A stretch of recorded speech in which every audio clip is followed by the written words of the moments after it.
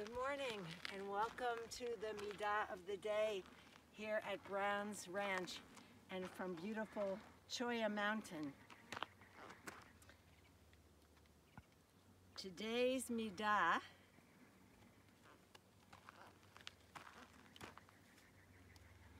is Shmiat HaOzen, attentive listening.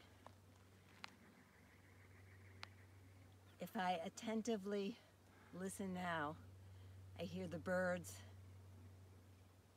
I hear a lot of buzzing gnats.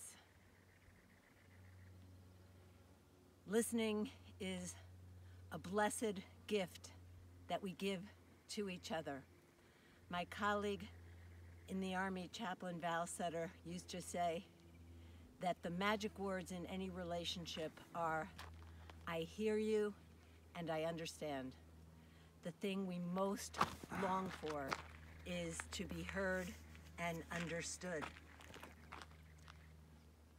The most holy prayer in the Jewish tradition, Shema Yisrael, begins with that word, Shmiat HaOzen, Shema, listen. We need to seek first to understand before we seek to be understood. The best vehicle for problem solving in a relationship is hearing the other person's perspective with an open heart and with attentive listening. That goes such a long way towards resolving any problem. When someone feels heard and understood, you can see it in their physical body, the relaxation of the shoulders, the elongation of the breath.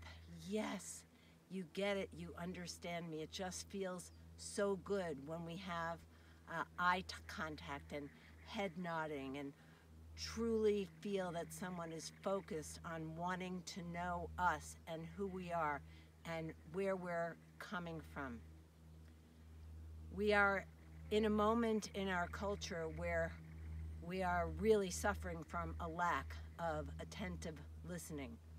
We have so much judgment of decisions that other people are making and how they are handling this challenging time of social distancing and isolation.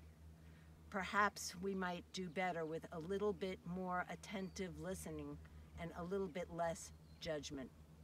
Let's think about that on this beautiful Shabbat and Shabbat Shalom.